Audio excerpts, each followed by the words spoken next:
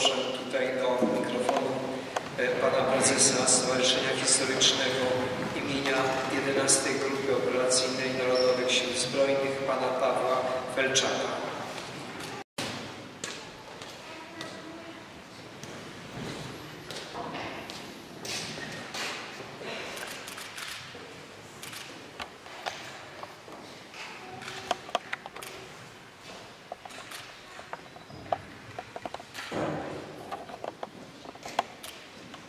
Za chwilę rozpocznie się msza święta, w trakcie której będziemy modlili się za dusze pomordowanych przez nacjonalistów ukraińskich naszych rodaków z terenów południowo-wschodnich ziem II Rzeczpospolitej.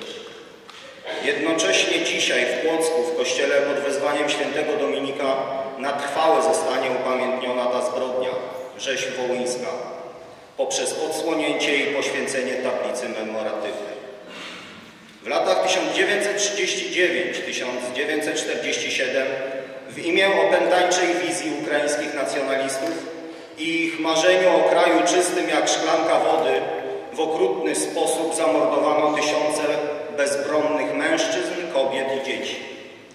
Zbrodnia wołyńsko-małopolska była, była trzecim ludobójstwem po niemieckim i sowieckim dokonanym na narodzie polskim w czasie II wojny światowej. Członkowie przedwojennej terrorystycznej organizacji ukraińskich nacjonalistów OUN Stepana Bandery, policji ukraińskiej w służbie nazistów, ukraińskiej powstańczej armii UPA oraz SS Galicjen przy pomocy chłopów ukraińskich w sposób zaplanowany zamordowali swoich polskich sąsiadów w ponad czterech tysiącach miejscowości na terenie województw wołyńskiego, lwowskiego, stanisławowskiego, tarnopolskiego, częściowo poleskiego i lubelskiego. Polacy mordowani byli w sposób straszliwy. Historycy doliczyli się 362 sposobów tortur dokonywanych przez banderowców na swoich ofiarach. Dlatego zbrodnia ta określana jest jako genocidum atrox, czyli ludobójstwo okrutne, z uwagi na potworne cierpienia zadawane ofiarom. Ich liczba jest dzisiaj bardzo trudna do ustalenia i oscyluje w granicach od 60 do ponad 100 tysięcy. Z mapy zniknęło ponad 2000 miejscowości, w których od wieków mieszkali Polacy. Instrukcja kierownictwa wołyńskiego OUN z jesieni 1943 roku nakazywała zniszczyć wszystkie ściany kościołów i innych domów modlitewnych, zniszczyć drzewa owocowe rosnące przy domach tak, żeby nie pozostały znaki, że kiedyś mógł tam ktoś żyć, zniszczyć wszelkie polskie domy, zwrócić uwagę jeszcze raz na to, że jeśli ostanie się cokolwiek polskiego, to Polacy będą zgłaszali pretensje do naszych ziemi. Polaków mordowano tylko dlatego, że byli tym wielodzietne i wielopokoleniowe rodziny, od niemowlęcia do starca, a nawet kobiety brzemienne i duchowieństwo. Wszyscy bez względu na zawód, wykształcenie czy wyznanie. Polacy nie spodziewali się ataku. Żyli od lat wśród Ukraińców, wspólnie świętowali i pracowali. Przyjaźnili się, a niejednokrotnie łączyły ich więzi rodzinne. Dlatego umierali zdumieni i przerażeni, ponieważ męczeńska śmierć spotkała ich z ręki dobrego znajomego, sąsiada lub krewnego. Nacjonaliści ukraińscy nie wahali się nawet mordować Ukraińców udzielających pomocy i schronienia napadniętym Polakom oraz tych, którzy odmówili zabicia swych polskich współmałżonków i dzieci.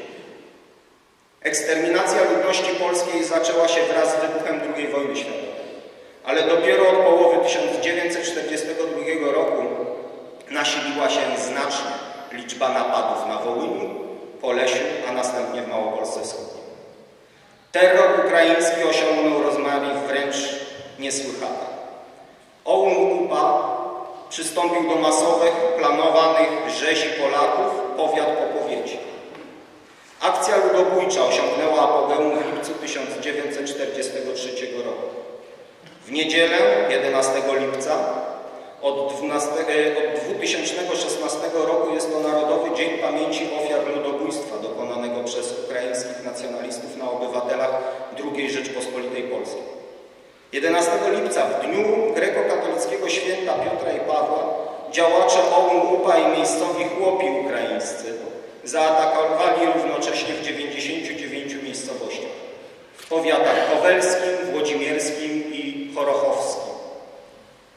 Kilku kościołach zamordowano wiernych i kapłanów podczas nabożeństw. Tego świątecznego dnia zabito 10 tysięcy Polaków.